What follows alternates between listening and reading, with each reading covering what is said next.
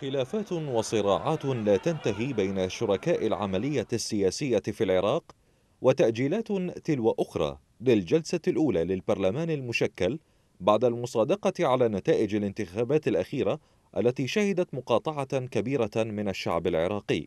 فيما أكدت مصادر مطلعة استمرار الخلافات بين القوى السياسية وتفاقمها بالشكل الذي لا يمكن تجاوزها خلال الجلسة الأولى لمجلس النواب مصادر مطلعة تحدثت عن وجود وفد إيراني في بغداد للمشاركة في حل الخلافات بين الأحزاب وضمان مكاسب حلفاء طهران فيما أشارت مفوضية حقوق الإنسان إلى أن العملية السياسية في العراق تأسست وفق معادلة طائفية وستستمر برعاية إقليمية.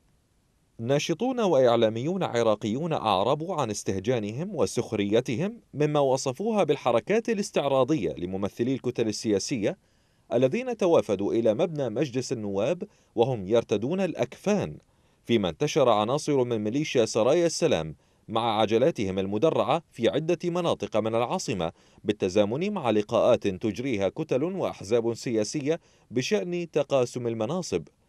بينما وصل أعضاء حركة امتداد إلى البرلمان وهم يستقلون عربات التوك توك.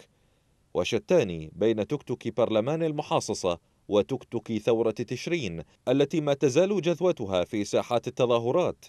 وبحسب مجلة فورين أفيرز فإن أبرز أسباب الصراع بين الأحزاب في العراق هو الوصول إلى خزائن الدولة.